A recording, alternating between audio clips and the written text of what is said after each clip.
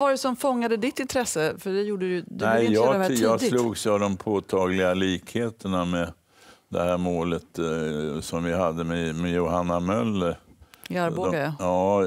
till att börja med de är påtagligt lika varandra till yttre och i, i någon slags andlig mening. För nu börjar jag få ganska gott grepp om personen. va.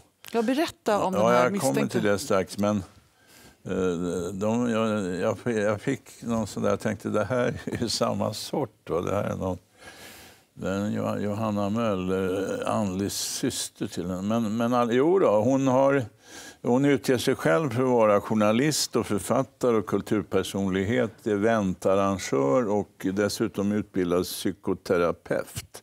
Allt detta låter sig enkelt kollas, ingenting är sant. Eh, hur har hon då levt? Jo, hon har levt på karar kan man säga. Hon har då träffat olika män som har lånat ut pengar till henne eller som hon har lurat på pengar. Och den här juveleraren är också en i raden. Under deras relativt korta förhållande så sticker han åt henne säkert flera hundratusen kronor. Och det är så hon har dragit sig fram. Han dör ju i februari, juveleraren, och redan innan liket har kallnat har hon börjat söka nya kamrater bland hans närmaste vänner, givet att de har tillräckligt god ekonomi. I augusti så gifter hon om sig med en mycket rik man. Och, till hans lycka så, så tas hon in i finkan och, och häktas då på sannolika skäl i oktober. Annars kanske vi hade fått flera fall. Jag blir plötsligt väldigt intresserad av hennes bakgrund. va. Hon är 54 år gammal.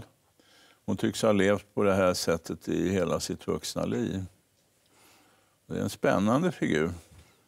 Eh, ofta är det så med... Hon är ju utåt, det är ju inte så där så att det är någon lysmask. Va? Tvärtom. Hon ser bra ut, hon är charmig, kolossalt övertygande och sådär. Allt, eh, hela det paketet